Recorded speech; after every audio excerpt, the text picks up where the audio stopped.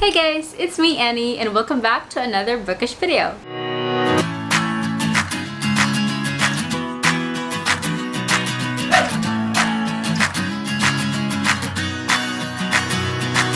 So in today's video guys, I'm just basically gonna share with you where I buy my books. This video is actually very special because I decided to do this out of a desire to help Filipinos. I always hear them tell me that they want to read but they just don't know where to go. They don't know where to get cheap or affordable books because brand new books here in the Philippines are so expensive. Alright, so first I'll be sharing with you guys where I buy brand new books. So I buy brand new books at number one, National Bookstore, and number two, Fully Booked. Now to those of you who are living in Metro Manila or in Cebu, you are so lucky. You're so lucky to have Fully Booked there because I love that bookstore so much. Fully Booked has a lot of really really good books that I cannot find anywhere in National Bookstore.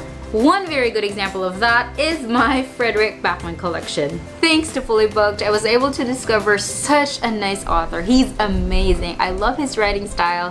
His stories make you laugh, but they also make you cry. And speaking about Fully Booked, I also got myself this Fully Booked discount card. It is so worth it to have this card because you get 10% discount forever, for a lifetime. So every single time you buy books, you get it at a discounted price. And lastly, I have a tip if you want to buy at Fully Booked or National Bookstore and that is wait for the sales. National Bookstore and Fully Booked, I think they have like a sale three times or twice a year, I'm not sure, but wait for it. It is so worth it. Now let's move on to the more interesting part. I'm gonna share with you guys where I buy secondhand books. So the first place I go to if I want to buy secondhand books is called Booksale. And there at Booksale, I actually got my Hunger Games series. And as you can see, two of them are paperback and one is hardcover. I guess that's the only downside if you buy from secondhand bookstores is that you don't get to choose. But that's okay, I don't mind. So yeah, I got a lot of my books from Booksale. You just really need to be patient and looking for them. Another secondhand bookstore that I go to is called Books for Less. And some of the books that I actually got from Books for Less are my Mitch Albom books and my Nicholas Sparks books. So I'm only gonna show you guys some examples because I can't show you everything from my bookshelf. Well, of course, there are a lot of other secondhand bookstores here in the Philippines, but I'm only mentioning the ones that I've actually, you know, bought books from. But don't you worry, I will include in the description box below some of the other secondhand bookstores that I know. And now for the last part of this video, I'm gonna share with you guys where I buy my books if I choose to buy them online. So first, I join a lot of buy and sell groups on Facebook and I follow local booksellers on Instagram. So I'm gonna put in the description box below some of the groups that I've joined and also some of the people that I follow on Instagram Instagram. And I was able to buy so many books because of this. Among those books that I got from joining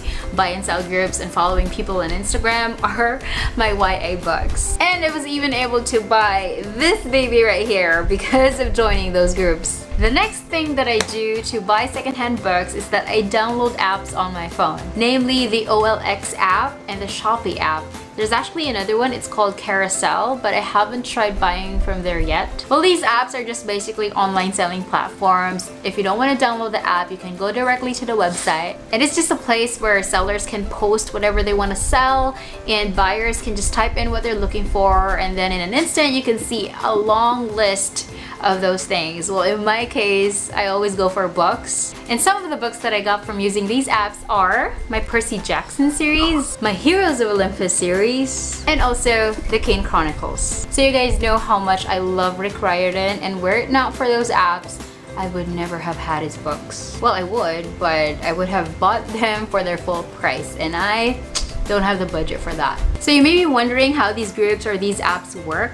Well, usually if you see an item that's being posted and you're interested in it, you can contact the seller directly.